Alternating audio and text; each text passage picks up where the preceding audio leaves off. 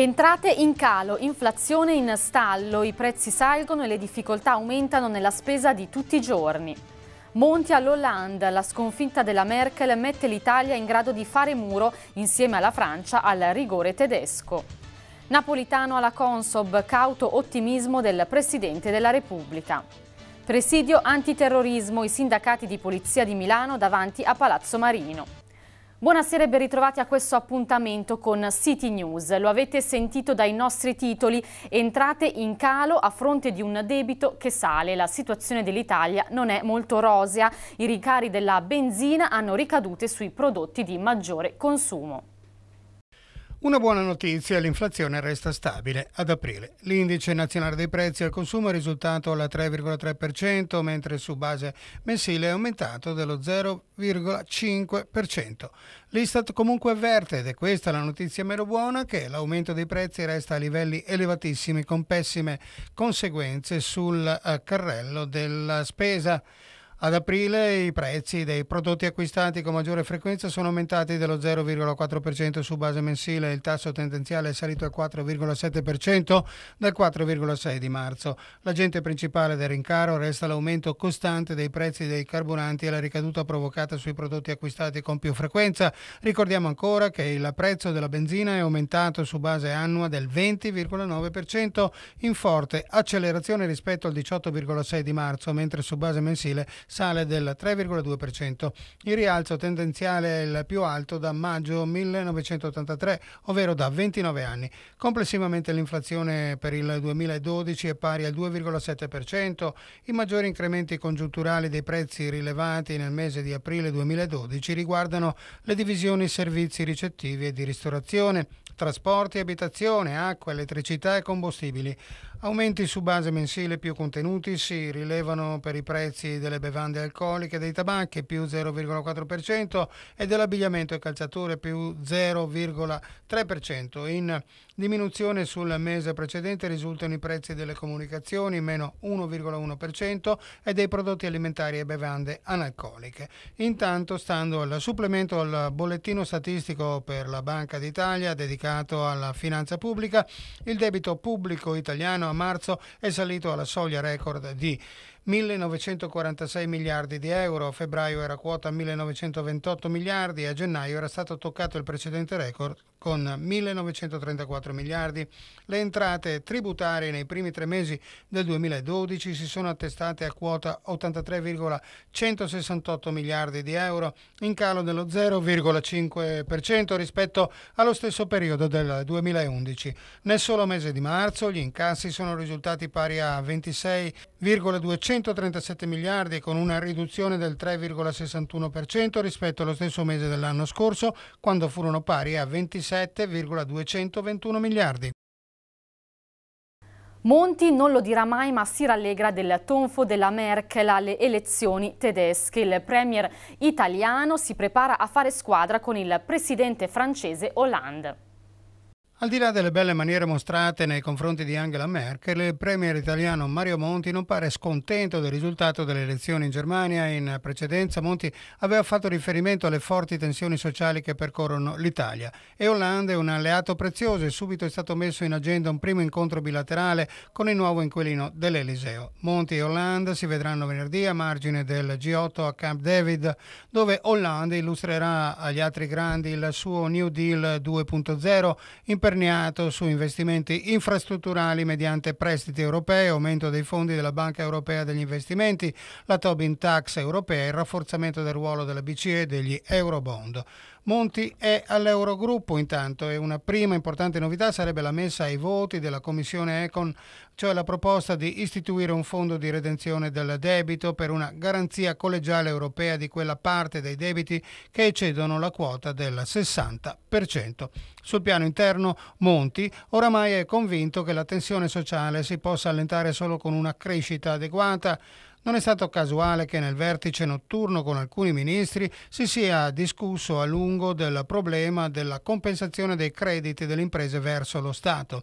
In settimana arriveranno tre decreti ministeriali per sbloccare i pagamenti da parte della pubblica amministrazione, consentendo alle imprese di farsi certificare i propri crediti per poi andarli a scontare in banca.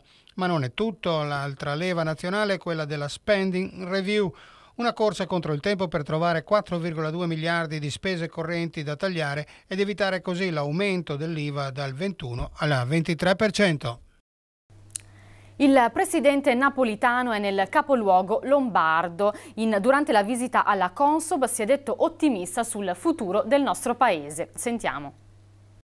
È stato un anno abbastanza brutto, ma ci sono le condizioni per venirne fuori. Fiducia. Con queste parole il Presidente della Repubblica, Giorgio Napolitano, è uscito dall'incontro annuale con il mercato finanziario alla Borsa di Milano, dove ha ascoltato la preoccupata relazione del Presidente della Consob, Commissione Nazionale per la Società e la Borsa, Giuseppe Vegas, che ha definito quello passato un annus horribilis. Diciamo che gli argomenti più importanti e più incisivi sono quelli relativi alla finanza e quindi a quella parte di finanza che non aiuta l'economia reale e le imprese ma è speculativa. Quindi il fatto che Vegas opportunamente abbia aperto un faro sugli ETF che sono strumenti semplici per l'investitore retail, per l'investitore normale ma nascondono dentro di sé tutta una struttura di derivati che potrebbero essere la futura bolla speculativa beh, questo è molto importante, come molto importante è la regolamentazione della vendita allo scoperto. È giusto che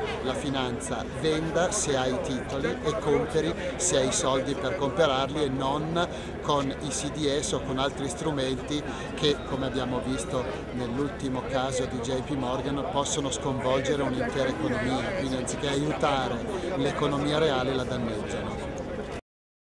Si moltiplicano i presidi antiterrorismo delle forze sindacali. Oggi davanti a Palazzo Marino si sono dati appuntamento quelli di polizia insieme ai familiari delle vittime. Il terrorismo è sempre più presente, soprattutto dopo gli ultimi fatti di Genova e gli ultimi volantini apparsi a firma delle nuove BR. Presidio davanti a Palazzo Marino dei più importanti sindacati di polizia e le associazioni delle vittime del terrorismo e il movimento Non remare contro. Sono qui in piazza con gli amici poliziotti per sostenere la loro protesta, preoccupato soprattutto eh, per la nomina e il mantenimento dell'incarico ad Azzolini, specialmente eh, alla luce di quello che è accaduto a Genova.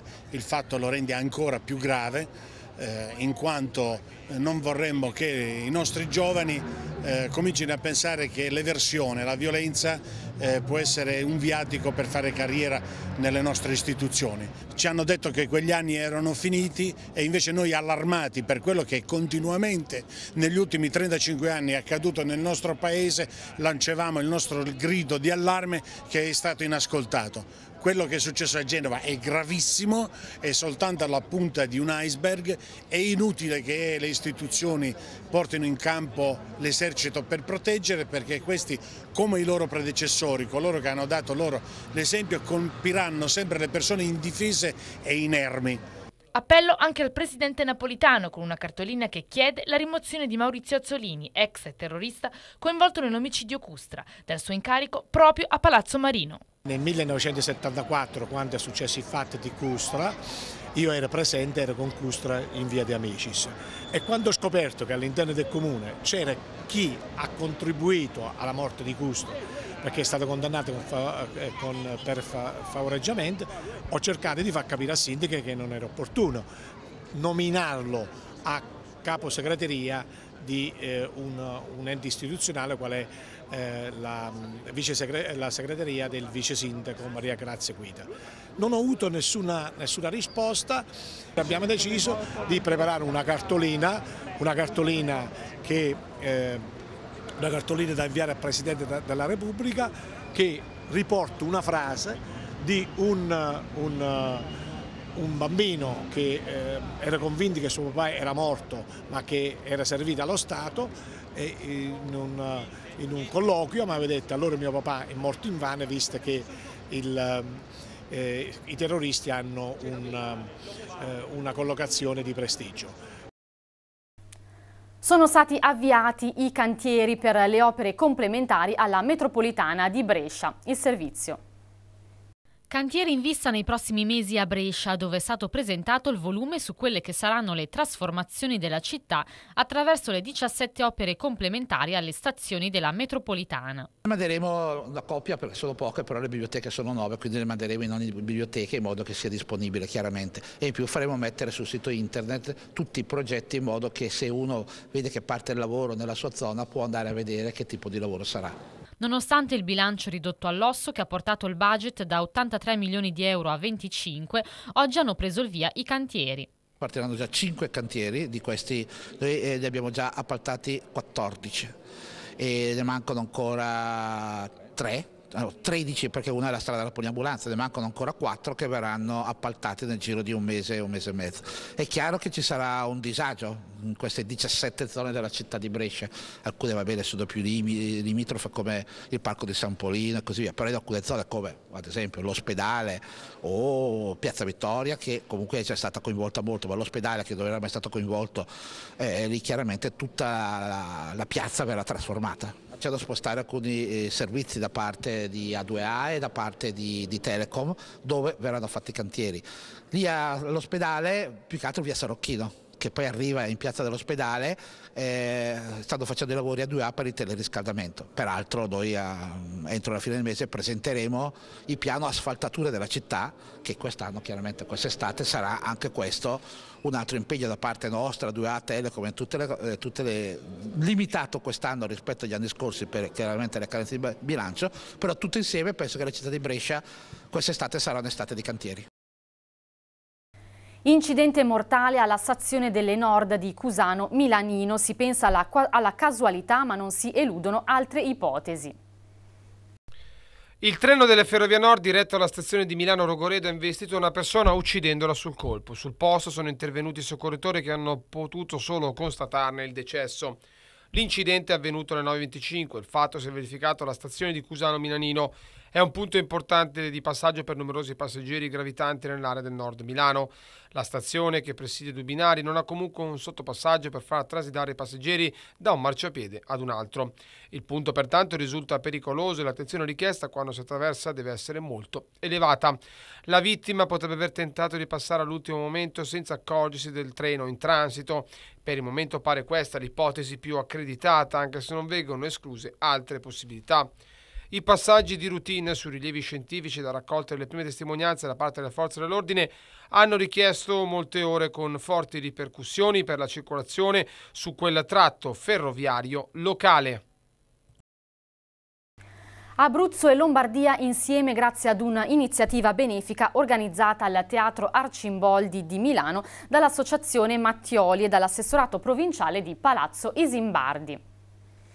Si dice che c'è un secondo Abruzzo, l'Abruzzo ha 1.250.000 abitanti, quindi un altrettanto numero di abitanti sembra viva ormai all'estero di prima o seconda generazione. Eh, avere un rapporto tramite l'assessore altitonante con Milano e con la sua provincia per noi è particolarmente importante perché non dimentichiamo che Milano è certamente una vera capitale economica non solo d'Italia ma una delle più importanti città d'Europa eh, noi abbiamo necessità di mantenere contatti e rapporti, abbiamo un desiderio, la eh, rappresentanza abruzzese qui a Milano in Lombardia è perfettamente integrata, ha assunto anche ruoli importanti, per esempio nelle istituzioni, come nel caso di Altitonante, e noi pensiamo che questi rapporti debbano continuare a crescere. Ho voluto creare un, un momento di, di aggregazione tra tutti gli amici abruzzesi per una riscoperta di valori che ci legano e soprattutto il tema è Abruzzo e Lombardia, quindi quello che ci ha dato è tanto Milano e la Lombardia, poter avere una giornata all'anno dove si possa riflettere in, in serenità con della musica e poi il filo conduttore la solidarietà. Prima del terremoto abbiamo raccolto fondi per l'ospedale di Pescara e il reparto di pediatria, e dal 2009, dopo il terremoto, ci stiamo impegnando ed è partita da Milano il progetto per aiutare un'associazione dell'Aquila che sta costruendo una piazza della memoria all'Aquila dove sono morti dei ragazzi, dei ragazzi, dei ragazzi giovani e la provincia di Milano è protagonista, quindi non, si, non ci siamo dimenticati del terremoto come istituzione, come persona eh, nata, nata in Abruzzo, stiamo andando avanti, io credo che questa sia una manifestazione importante. Con questo è tutto, grazie, arrivederci.